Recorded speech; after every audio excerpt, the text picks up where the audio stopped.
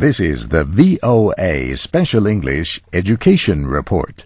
Today we have the second of two reports about the education of college athletes in the United States. Millions of Americans follow college sports, mainly football and basketball. Schools with good teams are under pressure to win. But now they are also under pressure to do more to make sure their players get a complete education. On January 7th, the two top college football teams will play in New Orleans for the national championship.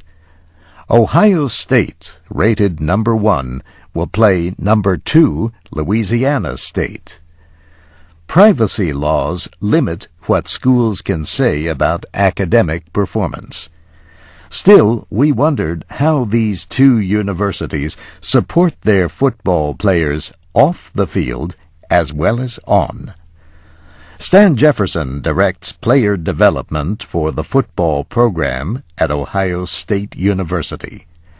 He says all the players can receive the same academic help. This includes in their first year of school, required meetings of what is known as the Interactive Study Table. This is a program in which players meet with a tutor before classes to discuss their work. Stan Jefferson tells us that players also meet with counselors who make sure they are progressing toward their degrees. LSU says on its website that football players there also receive extra help. It says 100 tutors are available and can provide help in every subject.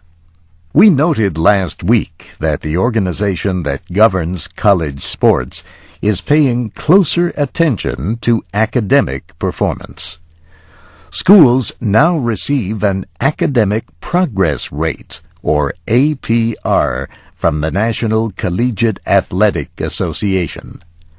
This number represents graduation rates for athletes on scholarships in each sport. An APR of 925 equals a graduation success rate of about 60%.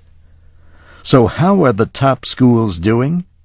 950 was the average APR for all the male sports teams in Division 1 in the last report in May. Football teams had a lower average, 931. Louisiana State had an APR of 941, and the Ohio State football team had an APR of 928. Teams below 925 must develop plans to improve their athletes' academic performance.